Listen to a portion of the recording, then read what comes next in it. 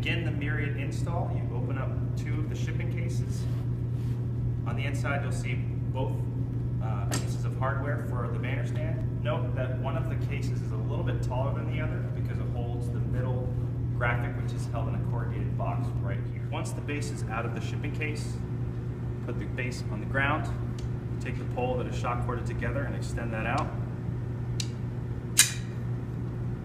This is the back of the unit, and you'll notice this is where the back of the pole slides right in there, just like so.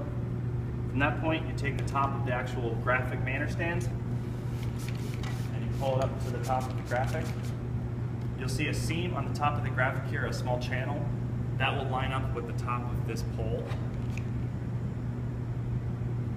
It clips on together like that.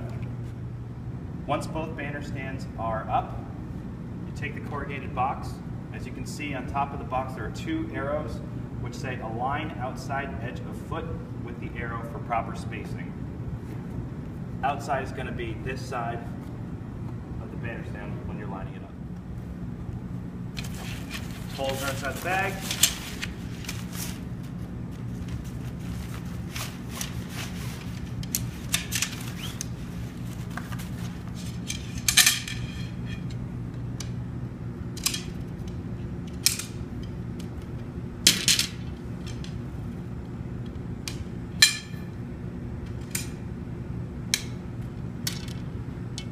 Once the poles are extended, you lay the graphic on top of it like this and roll it back.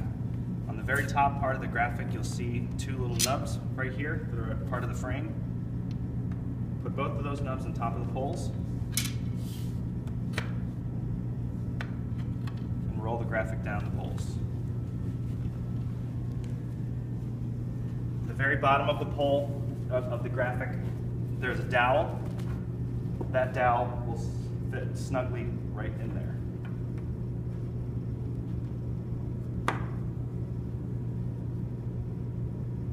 Now that the center graphic is ready to go, pull it from the top, bring it over to our unit, and you place the poles on the back side of the two uh, hardware units. Line up.